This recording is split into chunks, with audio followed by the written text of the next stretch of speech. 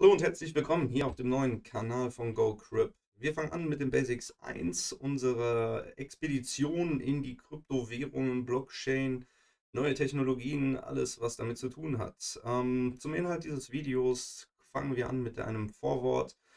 Dann kommen wir zu Gold und Geld, Blockchain, Bitcoin, Exchange oder Börse. Und vorab zur Information, ich werde das Ganze jetzt hier in einem aufzeichnen. Das heißt, äh, ich mache das ein bisschen wie ein Stream. Äh, ich habe gestern äh, mich daran gesetzt und habe mal eine kleine PowerPoint-Präsentation vorbereitet, um so die wichtigsten Bullet Points aufzuzeigen und das Verständnis zu bekommen, was Bitcoin eigentlich ist. Denn in den Medien wird natürlich viel über Bitcoin gesprochen und ähm, Deswegen starten wir auch direkt mal ganz kurz mit dem Vorwort hierhin. Und zwar möchte ich ganz zu Beginn dieses Videos einmal nochmal deutlich machen, meine Inhalte nicht als Finanzberatung zu verstehen sind. Denn ich möchte lediglich die Technologie und Vorteile dieser aufzeigen. Das heißt, über Bitcoin sprechen, über die Blockchain-Technologie im Allgemeinen, vielleicht auch noch über das ein oder andere Projekt ähm, der Kanal ist ganz neu, das heißt, ihr habt auch die Möglichkeit, die Inhalte mitzubestimmen. Ähm, dafür am besten einmal den Kanal abonnieren, vielleicht sogar die Glocke abonnieren. Das hat man ja auch heutzutage immer so in den Videos. Ich weiß noch nicht ganz genau, was das alles bringt, aber äh, von daher denke ich mal, dass wir damit durchstarten werden. Das heißt, auch wenn ihr Fragen habt, äh, einfach unter die Kommentare schreiben. Ähm, ansonsten gibt es in den Kanalinfos auch noch ein paar weiterführende Links, ähm, unter anderem zu dem neuen Discord-Channel, den ich auch erstellt habe. Dort können wir uns natürlich gerne austauschen, äh, Inhalte für die kommenden Videos äh, festhalten und ähm, natürlich auch diskutieren.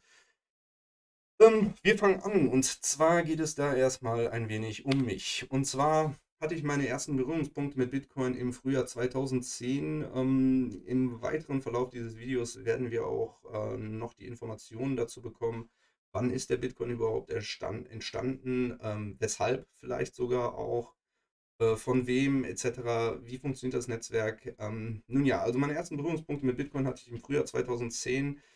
Da gab es eigentlich noch keine richtigen Exchanges. Also es gab das ganze System Bitcoin war noch relativ frisch. Ähm, ich habe zu dem Zeitpunkt ähm, Gaming am Rechner betrieben. Das heißt, ich habe viel gezockt und ähm, da hatte man natürlich auch eine vernünftige Grafikkarte zu dem Zeitpunkt, wenn man dann viel spielen wollte. Ähm, und Bitcoin hatte zu dem Zeitpunkt auf der Bitcoin Core Wallet oder mit der Bitcoin Core Wallet damals auch die Möglichkeit, Bitcoins zu meinen. Dafür äh, lief dann damals über die Grafikkarte. Naja, auf jeden Fall, ich habe das Ganze gemacht, ähm, hatte zu dem Zeitpunkt dann auch einige Bitcoins gemeint, das waren so circa 150.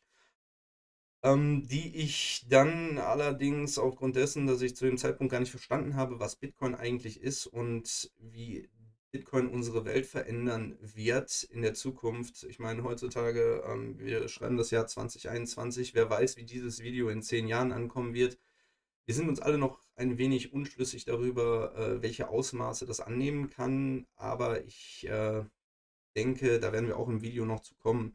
Resümee aus dem Ganzen im Frühjahr 2010, die äh, Berührungspunkte, die ich mit Bitcoin hatte, die beliefen sich eigentlich nur auf eine Digitalwährung, die da erschaffen wird und ähm, verkauft werden kann. Äh, zu dem Zeitpunkt weniger als ein Cent oder so um die einen Cent. Das heißt, ich habe das Ganze mal ein bisschen entgegengerechnet äh, zu dem Stromverbrauch, den ich in der Zeit hatte und habe das dann für nicht gut befunden. Aber das ähm, liegt natürlich auch daran, dass ich den Preis und Werte nicht ermitteln konnte. Da kommen wir aber auch nochmal später zu. Äh, Im Frühjahr 2017 bin ich dann in Thailand unterwegs gewesen und habe einen Bitcoin-Casino-Programmierer getroffen aus Frankreich, der mir sehr viel ähm, über Bitcoin erklärt hatte, was ich zu dem Zeitpunkt gar nicht auf dem Schirm hatte. Bitcoin stand, als ich die ersten Gespräche mit ihm geführt hatte, bei ca. 600 US-Dollar wo ich erstmal dick geschluckt habe, weil das äh, ganz aus meinem Bild weg war. Ich habe da gar nichts mehr von mitbekommen und äh, während meines Urlaubs ist der Bitcoin dann immer peu à peu gestiegen und ähm, das war dann auch so ein bisschen der Grund, dass ich mich mehr mit der Thematik noch beschäftigt habe. Vorwiegend aber auch durch die Informationen, die ich von dem netten Herrn da bekommen habe, mit dem ich leider keinen Kontakt mehr habe. Ähm, also vielleicht wird man nochmal irgendwann Kontakt haben. Die Welt ist nicht so groß. Ähm, nichtsdestotrotz, als ich wiederkam aus diesem Urlaub, ähm, das war Mitte 2017 dann, also als ich angefangen habe, mit meinem äh, Freund Ethereum GPU-Mining zu betreiben, Das heißt, wir haben uns einen äh, GPU-Server aufgesetzt mit Grafikkarten, haben die Software dafür entwickelt, dass das alles funktioniert und hatten das Ganze dann auch von 2017 bis Ende 2020 betrieben. Und ähm, da kommen wir aber auch später nochmal zu, aber das sollte so ein bisschen so die Grundgeschichte sein, wie es jetzt überhaupt dazu kommt. Anfang 2021, das schreiben wir heute, den 21.03. Ähm, Start von GoCrypt YouTube. Und das Ganze soll einfach ein bisschen der Wissensvermittlung dienen, dass wir ein wenig alle mehr darüber erfahren, was Bitcoin und die Blockchain-Technologie ist. Kommen wir zu unserem ersten Bullet Point und der lautet, was ist Geld? Geld hat drei ganz wichtige Eigenschaften und das sollte ein Wertaufbewahrungsmittel sein, ein Transportmedium und eine Rechnungseinheit. Das Ganze klingt jetzt vielleicht etwas abstrakt, aber wir müssen erstmal die Grundsätze unseres aktuellen Geldsystems verstehen, um auch wirklich den Wert von Bitcoin überhaupt irgendwie bemessen zu können. Und ähm, was gibt es da Besseres als Gold heranzuziehen und das System Geld, in dem wir leben? Ähm, ihr seht jetzt schon die anderen Bullet Points, die wir hier haben. Gold als Geld, Wert von Gold, Papiergeld verknüpft an Gold, Fiat-Geld, Zentralisierung. Das heißt, ich habe das Ganze so ein bisschen aufgearbeitet, dass wir einen Faden haben, der sich durch die ganze Präsentation zieht und ähm, dass es etwas leichter verständlich wird. Kommen wir zum nächsten Punkt und zwar lautet der Gold als Geld. Gold ist uralt. Ja, ähm, ich bin mir jetzt nicht ganz sicher, aber ich glaube, so 10.000 vor Christus äh, haben die ersten Menschen angefangen, schon mit Gold als Geld zu handeln, weil es da vorher immer natürlich immer Warenaustausche gab. Das heißt, ähm, wenn ich Hühner hatte, konnte ich mit dem Huhn zum Beispiel ein Lederfell kaufen ähm, und habe damit dann eben direkt getauscht. Äh, Gold hatte das Ganze dann etwas leichter gemacht. Wie wir gerade ja festgestellt haben, ähm, brauchten wir etwas, was als Wertaufbewahrungsmittel, Transportmedium und Rechnungseinheit fungiert, um überhaupt dieses System von Geld zu verstehen. Gold als Geld. Gold ist selten und nicht reproduzierbar. Das ist einer der wichtigsten Eigenschaften, um einen Wertspeicher zu haben. Gold ist transportabel, das heißt, äh, es ist definitiv leichter, vielleicht eine kleine Goldunze zu transportieren oder eben ein ganzes Rind, ähm, um vielleicht etwas zu kaufen und Gold ist fungibel. Das heißt, eine Unze reines Gold ist immer gleich viel wert. Ähm, das ist auch ganz wichtig. Natürlich äh, gibt es da auch Möglichkeiten, andere Sachen beizumischen oder so, aber das ist jetzt zum Beispiel bei Gold auch relativ einfach herauszufinden, dann mit den richtigen Werkzeugen. Von daher denke ich mal, dass das soweit verständlich ist und auch den Sinn dahinter verständlich macht. Ja, der Wert von Gold. Ganz ähm, bekannte und liebe Frage, die ich des Öfteren mal gestellt bekomme.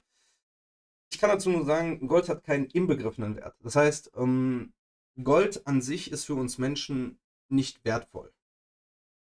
Zumindest nicht in dem Sinne davon, dass wir Gold benutzen können. Also es gibt natürlich Anwendungsbereiche, die auch für Gold wichtig sind. Das heißt, ähm, wir sind in der Schmuckindustrie beispielsweise oder eben ähm, in Halbleitern wird es auch verwendet. Ich bin mir jetzt nicht ganz so sicher, aber in Elektronikbauteilen definitiv äh, findet es eine Anwendung.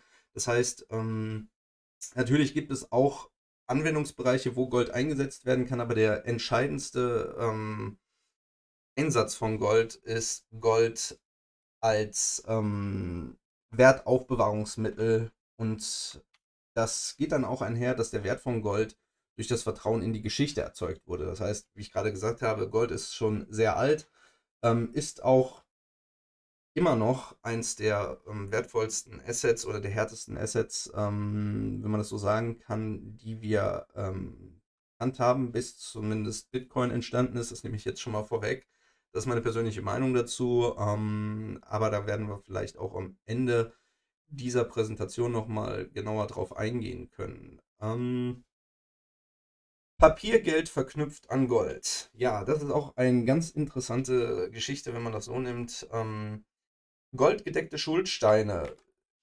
Goldgedeckte Schuldscheine im 15. Jahrhundert. Ja, so, das ist natürlich jetzt ein schöner Versprecher gewesen, aber ich mache jetzt einfach weiter. Das heißt, ähm, irgendwann ist den Leuten aufgefallen, dass mit Gold zu handeln auch nicht das Optimalste ist, weil es eben vielleicht auch schwerer zu transportieren ist. Man muss gewisse Sicherheiten haben dazu. Das heißt, es sind sogenannte ähm, Schuldscheine entstanden, die allerdings mit Gold gedeckt waren.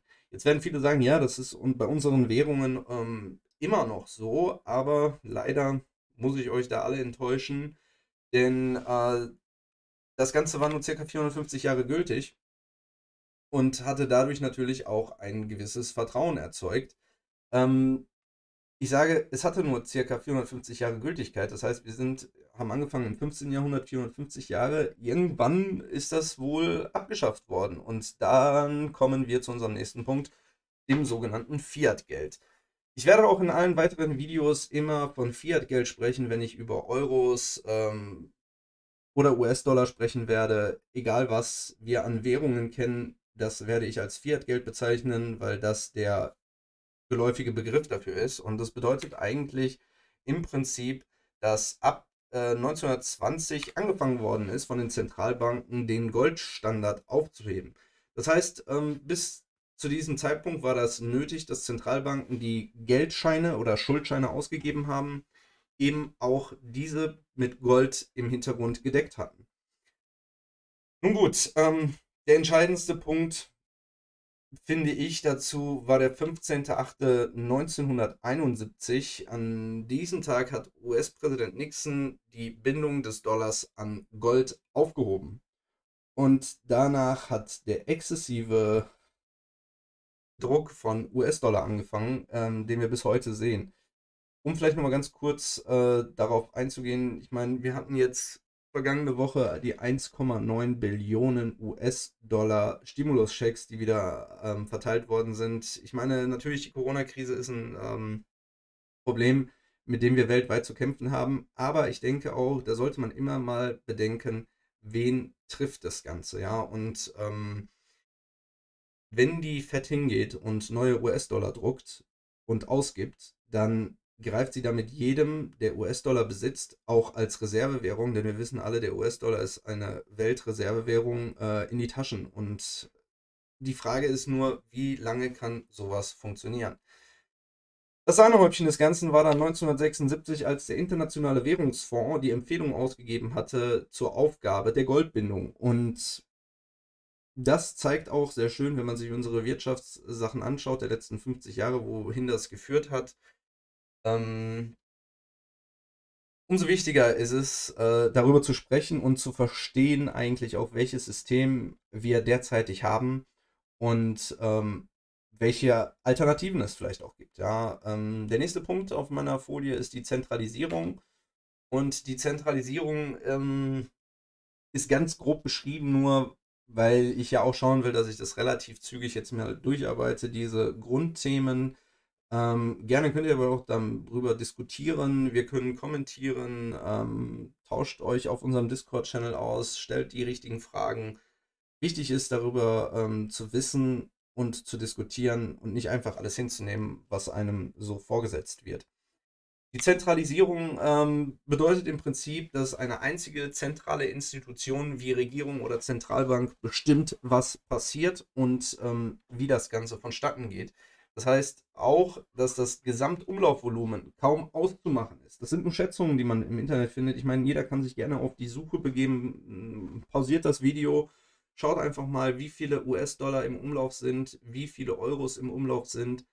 Und selbst wenn ihr dann eine Zahl gefunden habt, ähm, macht euch mal Gedanken dazu, wie realistisch diese Zahl ist, weil kontrollieren kann es keiner, ja. Also das heißt, wenn auf dem Computer äh, der Fett irgendwo eine Null dazugefügt wird oder irgendwas verschoben wird, wer soll das mitbekommen, ja? Also äh, bei einer zentralisierten Geschichte ist es immer so eine Frage, ob da auch alles mit rechten Dingen zugeht. Ähm, eine Hinterfragung des Ganzen, denke ich, ist da auf jeden Fall mindestens äh, gegeben. Und deswegen stelle ich auch ganz klar die Frage, ist das Vertrauen gerechtfertigt? Das heißt, das Vertrauen in unsere zentralen Geldsysteme, ob die wirklich so ähm, gerechtfertigt sind oder ob es da vielleicht auch Alternativen gibt. Wozu wir direkt zu unserem dritten Punkt kommen, und zwar der Blockchain. Ähm, wir haben hier auch wieder verschiedene Punkte, das heißt, wir fangen an mit der Dezentralisierung im Gegensatz zu der Zentralisierung von eben. Dann haben wir Double Spending, Satoshi Nakamoto, was ist eine Blockchain? Blockchain und Kryptowährungen. Um das einmal vorwegzunehmen, ich weiß, jeder von euch äh, liest sich die Punkte sowieso gerade durch, aber deswegen dachte ich mir, nehme ich das direkt mal auf. Ähm, Dezentralisierung ähm, bedeutet im Prinzip, dass es offen für jedermann ist, dass es keine Grenzen gibt, die dem ähm, unterliegen. Eine 24-7 Zugänglichkeit dieser äh, dezentralen Einheiten, ähm, klare Regeln, Transparenz vertrauenswürdig, da man nur dem System vertrauen muss. Äh, das heißt, es gibt ja keine zentrale Instanz, der ich ein Vertrauen gegenüber aussprechen muss. Äh, hier muss ich nur dem System der Dezentralisierung vertrauen. Und äh, wie ich gesagt habe, keine zentrale Partei. Das hängt natürlich mit zusammen. Womit wir aber zum nächsten Problem kommen, und das ist das sogenannte Double Spending Problem. Ähm, das Double Spending Problem ist, dass es dadurch, dass jeder selbst verantwortlich ist, auf der einen Seite bei einer dezentralisierten äh, Institution, gibt es halt keine Kontrollen und wäre für ein Geldsystem auch wirklich schwierig. Also da gab es ja auch Versuche in der Vergangenheit, äh, das Problem zu lösen, aber da gab es keine richtigen Lösungsansätze. Und keine Kontrolle bedeutet in dem Sinne dann auch eine unbegrenzte Geldmenge. Wir hatten ja den Vergleich Geld, Gold etc. Ähm, das, das, das gibt halt bei einem physischen Gegenstand nicht. Das heißt aber bei einer digitalen Währung wird es umso wichtiger, diese Double Spending-Probleme zu lösen. Und ähm, das Problem war bis 2008 nur durch eine zentrale Institution lösbar. Und jetzt kommt der eine oder andere vielleicht schon auf den Gedanken, 2008, ah, Satoshi Nakamoto, was ist da passiert? Genau, dieser Satoshi Nakamoto ähm, über den gibt es übrigens eine ganze Geschichte, da können wir gerne auch mal vielleicht ein Video zu machen. Allerdings äh, finde ich das gar nicht so schlecht, dass es keine genauen Auskünfte über Satoshi Nakamoto gibt. Also wer ist das? Ähm, auch heutzutage weiß man es einfach nicht äh, genau. Es gibt da Vermutungen, aber so macht das Ganze ja auch vielleicht etwas mehr Sinn, ähm, um Bitcoin auch zu verstehen, weil äh, es ist einfach was Unglaubliches. Und ähm, 2008 im Oktober ist das sogenannte Bitcoin White Paper äh, veröffentlicht worden von Satoshi Nakamoto. Und äh, das Ganze ist auch abzurufen unter bitcoin.org slash bitcoin.pdf. Ähm, das ist die englische Version, die ist auch in den Kanalinfos nochmal verlinkt. Ähm, ihr könnt allerdings auch die deutsche Version davon lesen, äh, die ist auch verlinkt in den Kanalinfos. Wir sprechen hier von circa acht Seiten, äh, auf denen das gesamte, gesamte Produkt, sage ich mal, von Bitcoin wie was funktioniert, das Double Spending Problem, äh, wie das gelöst ist in dem Sinne. Das ist alles dort beschrieben. Und äh, ich denke, das sollte eine Pflichtlektüre sein für jeden, der in ähm, Bitcoin einsteigen möchte, der sich mit Bitcoin beschäftigen möchte, ähm, weil ich auch der Meinung bin, dass es viel, viel Wichtigeres gibt, als nur die Gains zu bekommen über Wertsteigerungen des Bitcoins. Das ist nämlich ein generelles Problem mit Bitcoin, ähm, dass wir da immer von einem Preis und einem Wert sprechen und der meiner Meinung nach noch gar nicht definiert ist, richtig. Denn der Wert eines Assets ähm, bestimmt erst auch äh, die Anwendungsbereiche und halt auch die Problematiken, die ich vorhin angesprochen habe, die wir heutzutage in unserem Finanzsystem haben. Aber auch dazu kommen wir später nochmal. Ähm, naja, gut, in dem Sinne wurde von äh, Satoshi Nakamoto in dem Bitcoin White Paper das Problem von Double Spending gelöst. Und 2009 entstand der sogenannte Genesis-Block. Der Genesis-Block ist der erste Block gewesen der Blockchain ähm, mit einem Block-Reward von 50 Bitcoin, die damit äh, ausgegeben worden sind.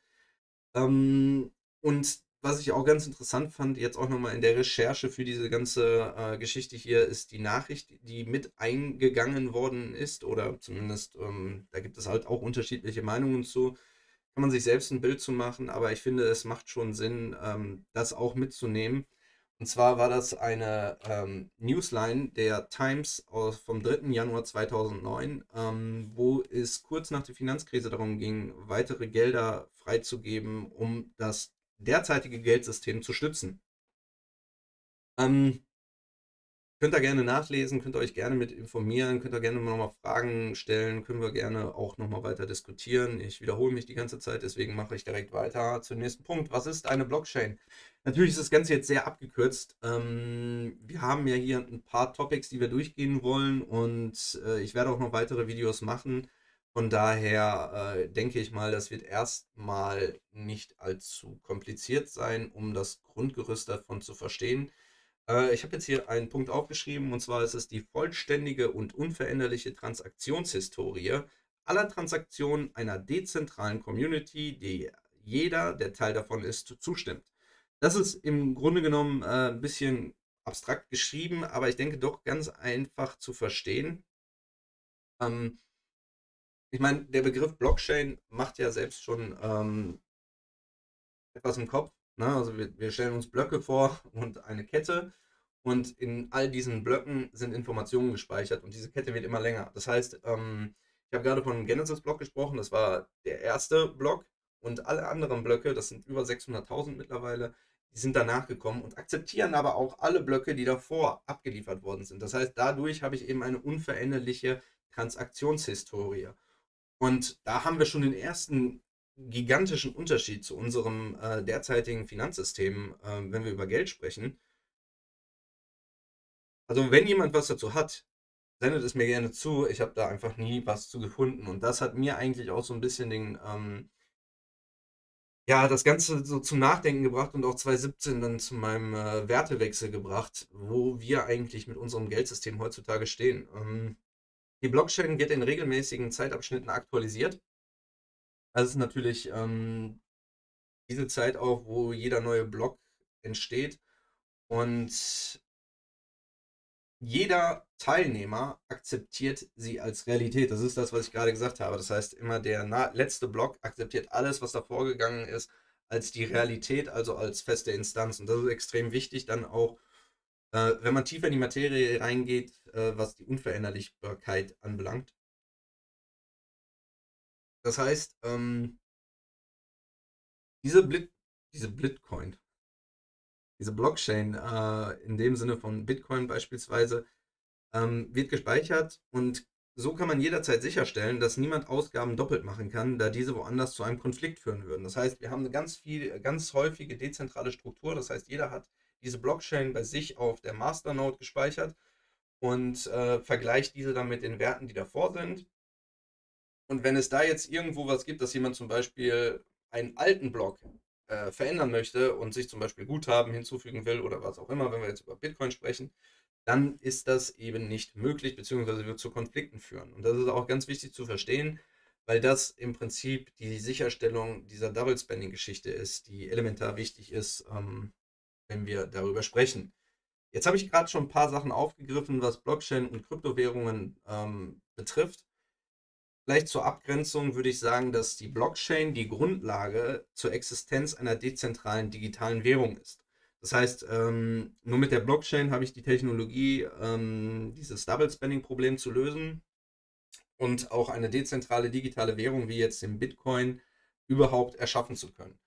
Ähm, die Kryptowährung ist eine digitale Währung, bei der jede Regel oder Regulierung in den kryptografischen Algorithmus programmiert wurde. Das heißt, ähm, das, was ich vorhin angesprochen habe, kurz mit dem Bitcoin White Paper, da ist eigentlich schon festgelegt, wie was funktioniert und ähm, da komme ich dann gleich auch nochmal weiter zu, weil der nächste Punkt bei uns schon Bitcoin ist. Ähm, ich würde aber ganz gerne noch kurz den nächsten Punkt aufnehmen, und zwar eine Währung, die durch Kryptographie gesichert und rar gemacht wird, das, was sonst die zentrale Institution machen würde. Das heißt, ähm, machen würde, sagt es ja schon ganz gut. Ähm, leider ist es heutzutage ja nicht mehr ganz so der Fall. Eigentlich war das mal so gedacht. Wenn man darüber spricht, ist es irgendwie schon echt lächerlich, wo wir uns befinden und was alles so in der Welt vorgeht. Nichtsdestotrotz. Entschuldigung. So, nichtsdestotrotz kommen wir zu unserem nächsten Punkt. Das ist schon der Bitcoin. Ich glaube, wir sind auch schon bei einigen Minuten hier angekommen. Ähm, 24 sehe ich gerade. Das heißt, ja, die halbe Stunde könnte passen. Also, das erste, worüber ich ganz kurz sprechen möchte, ist das Bitcoin White Paper. Wie ich vorhin auch schon kurz erwähnt habe, sind es neun Seiten, die das Prinzip und die Technik hinter Bitcoin erklären. Und ich denke, ein System, was so einfach ist, im Grunde zumindest, dass ich es auf neun Seiten zusammenfassen kann. Das ist auch für jeden irgendwo verständlich. Da brauche ich kein Programmierer sein, da muss ich kein äh, Mathematiker sein, um die Hintergründe zu verstehen. Hat natürlich einen Vorteil, wenn ich es bin, äh, dann ist es leichter, aber wir reden hier auch über etwas, was äh, größer ist, als einfach nur irgendein Asset, was ich auf den Markt schmeiße und ähm, wir reden momentan bei einer Bitcoin-Marktkapitalisierung von äh, 900 Milliarden. Haben ganz viele Leute sich mit beschäftigt, bevor da institutionelle Investoren hingegangen sind und da ganz viel Geld äh, reingesteckt haben, um Bitcoins zu kaufen. Ähm, gut, machen wir mal weiter. Die Erläuterung des Konsensmechanismus wird da aufgegriffen, was dann eben der ganz wichtige Punkt ist, um Double Spendings zu verhindern, aber eben auch um das Netzwerk an sich in einem äh, Gleichgewicht zu halten. Ja. Ähm, Bitcoin arbeitet weiterhin auf der gleichen Blockchain seit Beginn. Das heißt, wir kennen ganz viele Kryptowährungen, wenn man sich mal umschaut. Ähm, verschiedenste Blockchains, wir haben zum Beispiel Bitcoin Cash, was dann eine Abspaltung war des ursprünglichen Bitcoin, ähm, der ursprünglichen Bitcoin-Blockchain, weil es da unterschiedliche Meinungen zu gab, was die Blockgrößen beispielsweise anbelangte. Und so gibt es ganz vieles. Nichtsdestotrotz möchte ich mich erstmal nur über Bitcoin unterhalten, weil auch durch die Zeit, die ich mit anderen Kryptowährungen ähm, mich beschäftigt habe oder auch selbst Ethereum äh, Mining betrieben habe, ist mir über die Zeit jetzt, und wir reden jetzt hier immerhin auch schon über wieder über vier Jahre, die ich mich mit Kryptowährungen und Blockchain auseinandersetze, eins immer klarer geworden. Und zwar, dass wir hier nicht nur von einer Kryptowährung sprechen, sondern von einer Revolution unseres Geldsystems. Und Bitcoin kann so viel mehr leisten, als wir uns wahrscheinlich momentan überhaupt vorstellen können. Ja. Deswegen finde ich ganz wichtig, dass man Bitcoin versteht, nicht nur als Geldanlage für die Zukunft vielleicht, äh, sondern vielmehr das System dahinter, die Technologie und was Bitcoin uns Menschen überhaupt bringen kann. Womit wir auch zum nächsten Punkt kommen. Bitcoin, das vermutlich transparenteste Zahlungsnetzwerk der Welt. Ja, genau. Ihr redet, äh, ihr lest das richtig in den Medien ist in den letzten Jahren des Öfteren immer wieder aufgetaucht, äh, illegale Aktivitäten mit Bitcoin, Hacker etc. pp. Ich sage euch ganz ehrlich, ähm, wer Bitcoin für illegale Sachen benutzt, ja, der wird früher oder später enttarnt. Ja, also um Bitcoin in ähm, Bargeld beispielsweise oder in, in Fiat-Geld zu tauschen, brauche ich irgendwie wieder eine, eine zentrale Instanz, in der Regel sind die so weit reguliert, dass ich da ähm, Know Your Customer, also das heißt, ich muss meine Identität dort bestätigen. Also es ist nicht ganz so leicht, äh, aus illegalen Aktivitäten äh, Bitcoin in Fiat-Geld umzuwandeln. Da macht Bargeld einfach viel mehr Sinn. Bargeld ist absolut unverfolgbar. Ähm, ja, ich möchte jetzt hier keine äh, Tipps geben für kriminelle, kriminelle Aktivitäten. Aber Bitcoin eignet sich meiner Meinung nach nicht dazu. Was unter anderem auch äh, daran liegt, dass wir eine volle Transparenz von der ersten Transaktion bis zur aktuellsten haben. Das Ganze ist abzurufen unter ähm, blockchain.com slash explorer. Das heißt, dort habe ich die ganze Bitcoin Full Node als äh, Explorer. Kann wirklich von der allerersten Transaktion von dem Genesis-Block bis hin zu dem letzten Transaktionsblock, der gerade eben vielleicht erst äh, gemeint worden ist, äh, zurückgehen. Kann dort jede einzelne Transaktion von jeder auf jeder Wallet nachprüfen und ähm, das gibt es einfach gar nicht sonst. In unserem ganzen Finanzsystem äh, gibt es keinerlei Alternative dazu, eine so derartige Transparenz aufzuzeigen. Auch wenn wir vielleicht jetzt nicht wissen, wem welche Wallet gehört, gibt es auch da schon ähm, verschiedene Software-Algorithmen-Ansätze, die daran arbeiten, um zum Beispiel mit diesen User-IDs und äh, alles, was dazugehört, ähm, die Rückschlüsse zu ziehen. Also es ist auf jeden Fall ein sehr transparentes Zahlungsnetzwerk. Unser nächster Punkt ist die Limitierung auf 21 Millionen Einheiten. Das ist eins der ähm, fundamentalsten Daten, würde ich schon fast behaupten, die ähm, damit einhergehen. Die Limitierung auf 21 Millionen Einheiten habe ich gerade bewusst nicht ins Bitcoin White Paper geschrieben, denn dort sind die nicht aufgeführt gewesen. Die sind erst, ähm, also habe ich ja auch hier geschrieben, die maximale Anzahl von Bitcoin wurde mit der Veröffentlichung festgesetzt. Das heißt, in der ersten E-Mail, die Satoshi Nakamoto mit der Veröffentlichung seines Bitcoin White Papers gemacht hatte, hat er eben diese Begrenzung auf 21 Millionen Einheiten ähm, festgelegt. Und wenn wir uns jetzt ein bisschen weiter ins Detail reingehen, dann kommen wir direkt zu dem nächsten Punkt, wie ich das auch ganz am Anfang erwähnt hatte, die 150 Bitcoins, die ich damals zum Beispiel gemeint habe, die ich dann ungünstigerweise, da kann ich immer nur wieder wegschauen, äh, ungünstigerweise äh, mein Private Key gelöscht habe oder formatiert habe, meinen Rechner damals mit der Wallet drauf. Ähm, die sind verloren, würde ich jetzt mal sagen. Ich habe das jetzt hier aufgeschrieben, äh, dass es bis jetzt gelten ca. 3,7 Millionen Bitcoin schon als verloren. Das heißt, ganz viele Bitcoins aus der Anfangsphase, so wie es bei mir auch war, äh, sind für immer verloren. Ähm, dann gibt es noch ein paar andere Fälle, wo Leute hm, viel höhere Beträge auch ähm, vielleicht die Private Keys verloren haben, gelöscht haben, wie auch immer. Heißt, ähm, im Prinzip aber, wir haben hier eine Reduktion von unseren ähm, Bitcoin, die es überhaupt möglicherweise geben wird. Und zwar ähm, sprechen wir hier von 21 Millionen minus 3,7 Millionen, das heißt, wir haben 17,3 Millionen Bitcoin. Und jetzt möchte ich das nur mal so aufbringen, um Verständnis dafür zu bekommen, bei 7 Milliarden Menschen auf der Welt bleiben für jeden einzelnen Menschen 0,00247 Bitcoin übrig. Übrig in dem Sinne, ähm, dass das der Schnitt wäre, wenn man die gesamt verfügbaren Bitcoin auf alle Menschen aufteilen würde.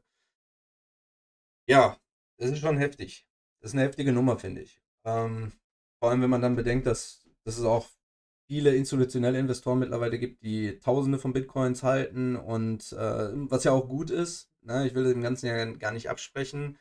Ähm, was ich dabei aber wichtig finde, ist, dass wir hier über ein transparentes Geldsystem sprechen. Ja, das heißt, jeder Euro oder jeder US-Dollar, der irgendwie in das Bitcoin-System geht, der ist auch da. Ja, also ich kann nicht einfach mehr Bitcoin ausgeben oder sonstiges. Ja, wir haben hier verschiedene äh, Themen, die damit einhergehen. Das heißt zum Beispiel auch, dass alle vier Jahre, das ist dieses sogenannte ähm, Bitcoin-Halving, alle vier Jahre halbieren sich die Mining Rewards. Ähm, da komme ich jetzt auch im nächsten Punkt nochmal zu, zu Mining und Transaktionsgebühren. Das heißt, wir haben angefangen, wie ich vorhin auch gesagt habe, im Genesis-Block mit 50 Bitcoin.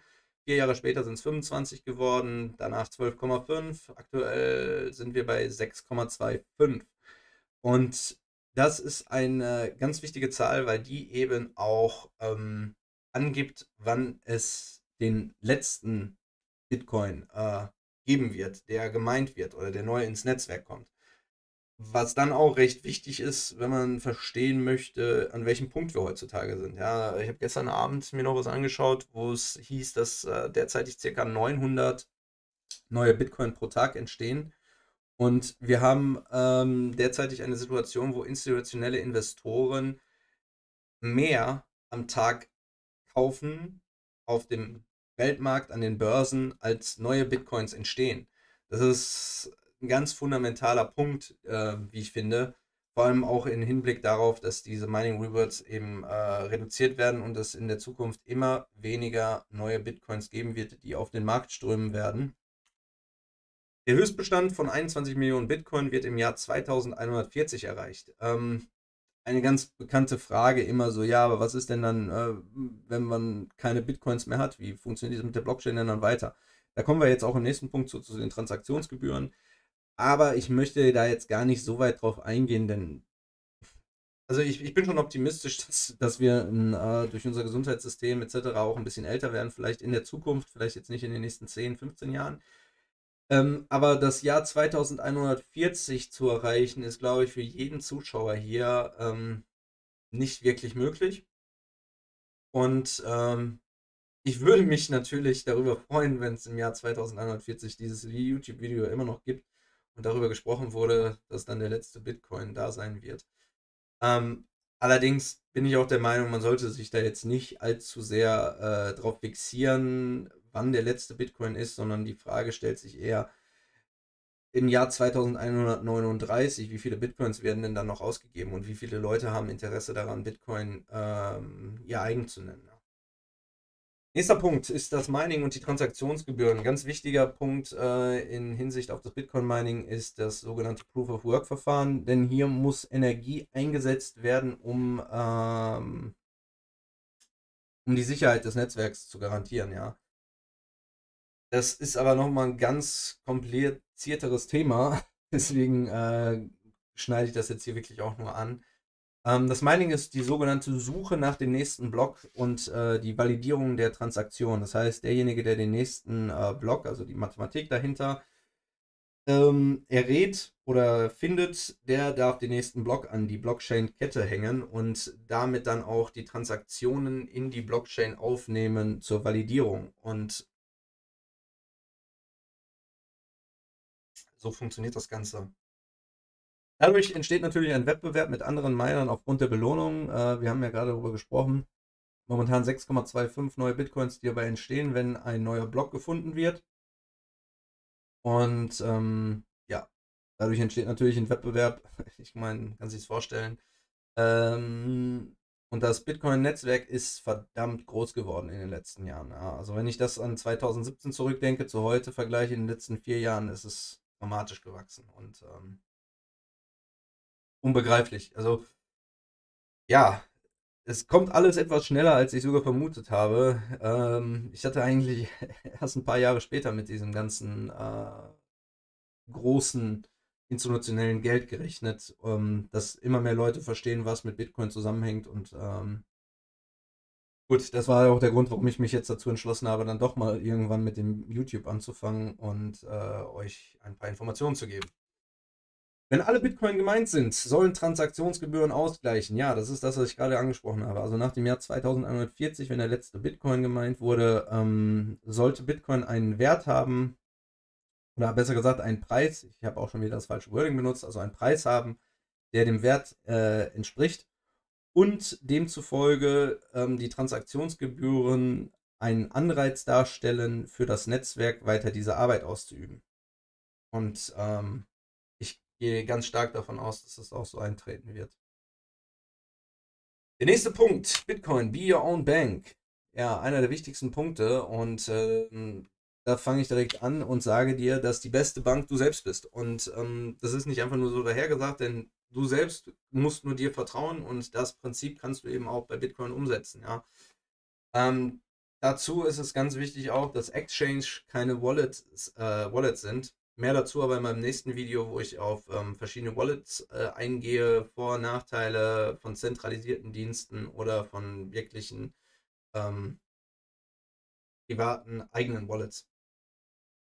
Für den Einstieg denke ich aber auch, wenn man in Bitcoin was investieren möchte und das Prinzip versteht, äh, geht erstmal kein Weg dran vorbei an einem einfachen System, um sich danach dann auch ähm, mit der Thematik zu beschaffen was ist noch alles wichtig in diesem Netzwerk, in dem ich mich befinde. Und das ist Bitcoin, ja, das ist eine Revolution, das ist viel mehr als all das, was wir uns heute vorstellen können. Ähm, ganz kurz auch, der Public und Private Key ist da eine ganz wichtige Sache, das wollte ich jetzt schon mal hier erwähnen, ganz kurz. Also der Public Key ist der, äh, die Adresse, wo ihr eure Bitcoin hinsenden könnt.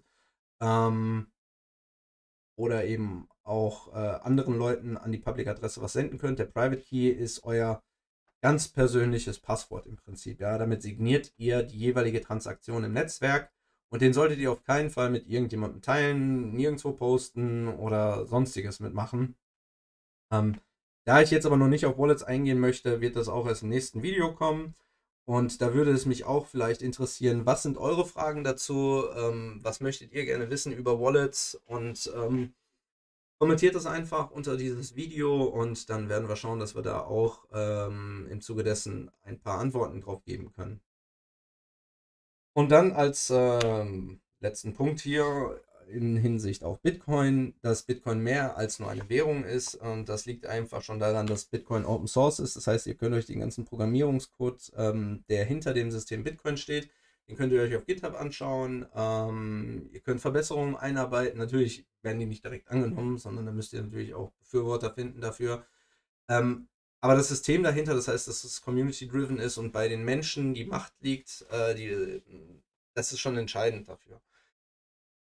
Wie ich das schon ganz oft gesagt habe, wir haben hier ein neues, revolutionäres Geldsystem basierend auf Mathematik und Kryptographie mit klaren Regeln und voller Transparenz. So, und wenn mir das für irgendein anderes Fiat-Geld oder was auch immer sagen kann, dann kurze Info in die Kommentare.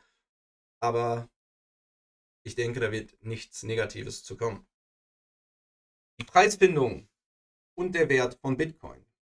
Dazu möchte ich noch mir ganz kurz Zeit nehmen, auch wenn wir dann äh, schon deutlich über unsere Zeit vom Anfang sind. Wir sind jetzt schon bei 39 Minuten, aber macht nichts. Ähm, wenn ihr noch dabei seid, schön, danke. Jetzt könnt ihr auf jeden Fall auch ein Like da lassen und nochmal den Kanal abonnieren, falls ihr das nicht schon gemacht habt, die Glocke aktivieren. Und ähm, in die Kommentare postet ihr dann bitte noch eure Fragen fürs nächste Video. Ähm, wie gesagt, Hauptthema nächstes Video werden meine Wallets werden oder werden die Wallets sein, die Wallets, die es äh, so gibt. Ähm, wir kommen gleich noch zum Punkt Exchange, aber jetzt nochmal ganz kurz die Preisfindung und den Wert von Bitcoin. Ich möchte jetzt nochmal ein ganz kurzes Beispiel bringen. Ähm, Preis und Wert sind immer zwei unterschiedliche Themen. Ja, also zum Beispiel schauen wir uns Wasser an. Wasser ist, der Wert von Wasser für uns Menschen ist extrem hoch. Ja. Ohne Wasser können wir nicht überleben. Der Preis für Wasser ist aber noch, ne, sage ich mal, jeder weiß das oder macht sich auch Gedanken darüber, dass Wasser in der Zukunft immer teurer sein wird, weil das ein ganz normales Prinzip ist, dass Preis und Wert sich irgendwann angleichen. Und das gleiche ähm, könnten wir jetzt natürlich nochmal mit Gold schauen. Das heißt, Gold ist zwar von, vom äh, Wert her eigentlich hier unten. Wie ich das vorhin gesagt habe, es gibt keine richtigen Anwendungen, was ich mit Gold machen kann. Ich kann Gold nicht essen, ich kann Gold nicht trinken. Aber trotzdem ist der Preis viel höher. Und wenn ich jetzt Gold mit Wasser vergleiche, ist das eine sehr unterschiedliche Sache. Und deswegen bin ich auch der Überzeugung, dass sich Gold und Preis, Wert irgendwann weiter anpassen werden. Ähm, ich will jetzt nicht damit sagen, dass die Charakteristik von Gold falsch ist. Nein, Gold ist ein vernünftiges Geldaufbewahrungsmittel im Gegensatz zu unseren Fiat-Geldern, die wir überall haben. Ähm, was ich aber damit sagen möchte, ist, dass Bitcoin so viel mehr ist. Und ähm, Bitcoin ist nicht einfach nur, was viele auch immer abschreckt, ist, ja, ein Bitcoin. Ich kann mir keinen ganzen Bitcoin leisten. Ja, äh, ich, ich brauche keinen ganzen Bitcoin. Ja, wir, wir sprechen bei, bei Bitcoin von ähm, Möglichkeiten, acht Stellen hinterm Komma zu gehen. Das heißt, ich kann für 10 Euro kann ich mir Bitcoin kaufen. Ja, ich kann mit den 10 Euro, die ich auf meiner Wallet habe, dann auch äh, bei dem einen oder anderen Händler schon damit bezahlen. Und ähm, je nachdem, welchen, welche Exchange, welche Wallet ich betreibe, gibt es da auch Möglichkeiten heutzutage Visa-Debitkarten zu, zu bekommen. Und äh, dann kann ich überall da bezahlen, wo ich mit einer Visa-Karte bezahlen kann. Ja, also es hat sich da extrem viel getan auf dem Markt. Und ähm, ich denke, dass sich der Preis von äh, Bitcoin dem Wert von Bitcoin anpassen wird. Und der Wert von Bitcoin ist so viel, viel höher, als äh, unsere Fiat-Gelder das sind. Und äh, naja gut, da kann sich jeder selbst die Gedanken zu machen. Wir kommen äh, auf unsere letzte Folie, das sind die Exchange und Börsen. Ich habe hier mal ähm, drei äh, Exchange-Börsen, wie man das auch nennen mag, rausgesucht, mit denen ich selber ähm, angefangen habe, arbeite, meine Meinung dazu etc. Und ähm, fange an mit Coinbase. Das ist ähm, vielleicht auch ganz interessant, weil Coinbase eine Web-Application hat. Das heißt, ich kann mich äh, am Computer äh, anmelden und alles verwalten. Ich habe aber auch eine ähm, App, die ich auf dem Handy benutzen kann. Ich habe eine Wallet, die ich ähm, benutzen kann, auch von Coinbase, die dann wieder mit der äh, Web-Oberfläche verbunden ist. Ähm, das heißt, ich kann die Coins, zum Beispiel die Bitcoin, die ich ähm, da gekauft habe, kann ich mir direkt auf die Wallet packen, kann sie auch benutzen dann im alltäglichen Gebrauch. Ich habe aber auch die Möglichkeit, da eine Visa-Debitkarte zu bekommen und habe damit auch direkte Verfügung dazu. Ich habe jetzt hier nochmal hingeschrieben, 10 Dollar in BTC ab 100 Dollar Handel. Das ähm, ich dazu geschrieben, ähm, weil das diese Invite-Links sind für Affiliates. Ähm, das heißt, wenn ihr euch über meinen Link in der Videobeschreibung dort anmeldet, ähm, bekommt wir beide 10 Dollar in Bitcoin auf unser Coinbase-Konto überwiesen von Coinbase ab dem ersten Handel von 100 Dollar. Ähm, vielleicht noch ganz kurz, das ist ein US-Unternehmen und der IPO für die äh, ist dieses Jahr anstehend. Das heißt, die gehen an die äh, Börse und hatten jetzt, das letzte, was ich gelesen hatte, eine Bewertung von 68 Milliarden. Das heißt, es ist schon ein stabiles Unternehmen, was dahinter hängt. Äh, letztes Jahr war es, glaube ich, ein äh, Nettogewinn von 344 Millionen US-Dollar. Und das entsteht natürlich ähm, durch unterschiedliche Punkte. Ich hatte jetzt hier nochmal geschrieben, Super Service und Vernetzung, Web-App, Wallet, Visa-Debit. Ja, der negative Aspekt ist eben, um 344 Millionen US-Dollar als äh, Gewinn auszuweisen, habe ich natürlich hohe Gebühren äh, im Vergleich zu anderen Dienstleistern. Aber das ist eben der, der, der Service, der da auch bezahlt wird und da muss man selbst, äh, für sich selbst ausmachen, ob es das einem wert ist oder eben nicht. Ähm, Ich persönlich kann das nur den Dienstleister Coinbase empfehlen. Ich habe da bisher keine schlechten Erfahrungen mitgemacht. Es ist schön übersichtlich, einfach gehalten, ähm, mega transparent. Es wird immer angezeigt, auch was die Gebühren sind. Da kann man sich selbst ein äh, Bild draus machen. Als nächstes habe ich die ähm, Bison-App aufgenommen. Die gibt es allerdings nur als mobile Anwendung. Ähm, auch hier ist es so, dass man 10 Euro in Bitcoin erhält ab 50 Euro Handel über den äh, Link, den ich unterm Video gepostet habe. Ähm, das Ganze wird von der Börse Stuttgart betrieben. Äh, das heißt, man hat seine Coins mehr oder weniger in Deutschland. Ähm, aber wie ich das vorhin auch schon gesagt habe, be your own bank. Man sollte langfristig auch schauen, dass man nicht seine Guthaben oder seine Bitcoin weiterhin auf den Exchange stellt, sondern dann irgendwann auch auf eine Wallet verschiebt. Für den Anfang natürlich äh, ist das Ganze ein bisschen komplizierter, deswegen ähm, würde ich da vielleicht bis zum nächsten Video mitwarten. Ähm, kurz gesagt, einfach und übersichtlich, jedoch nur mobile, wie ich das auch gerade eben gesagt habe. Ähm, schaut es euch an, meldet euch an, nutzt den Invite-Link und ähm, dann kommen wir schon zum nächsten Projekt. Das ist das äh, Swissborg. Das ist auch eine App, die sogenanntes äh, Yield Farming auch betreibt. Und da ist es so, dass du einen äh, Voucher bekommst, der zwischen 1 und 100 Euro in Bitcoin ähm, enthalten kann, ab den ersten 50 Euro Handel. Das Ganze ist eine Schweizer Firma, die ihren ICO, das heißt, die haben sich selbst aus ähm, Kryptowährungen finanziert. Im Jahr 2017 hatten die sogenannten Initial Coin Offering und haben damit 50 Millionen eingesammelt und daraus ist diese Firma entstanden, die eben äh, diese App verwaltet. Das Ganze würde ich aber erst für erfahrene Leute äh, einstufen, da dort auch ein höheres Risiko ist, ähm, ja, als bei den vorgegangenen Unternehmen. In diesem Sinne war es das schon für unser erstes Video hier, den äh, YouTube Basics oder den Crypto Basics 1 auf YouTube von gocrypt.de. Ihr könnt auch einfach die äh, kurze URL gocrypt.de, gocrypt.com nutzen, um direkt auf diesen YouTube-Kanal zu landen. Und ähm, unter den Kanalinfos findet ihr den Discord-Link. Schaut auch da gerne vorbei. Ähm, stellt eure Fragen, kommentiert, was das Zeug hält. Ich sehe jetzt gerade, wir haben 47 Minuten. Das heißt, äh, wir sind ein bisschen über die 30 Minuten gerutscht, aber ich denke, für den Anfang war das soweit in Ordnung. Und ich bedanke mich sehr, dass ihr das Video bis zum Ende geschaut habt und würde mich freuen, wenn ihr auch beim nächsten Video wieder dabei seid. Vielen lieben Dank und bis dann. Tschüss.